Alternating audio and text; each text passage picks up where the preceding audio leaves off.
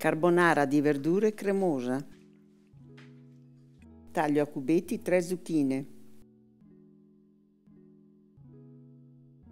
E mezzo peperone. Rosolo un spicchio d'aglio e aggiungo le verdure. Mettere sale e pepe. Aggiungo una tazzina d'acqua.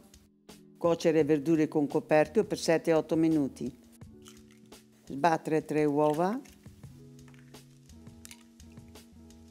aggiungo sale e pepe, aggiungo 40 g di grana, mescolo bene, verso la pasta cotta e le uova sbattute. Molto cremosa, buonissima.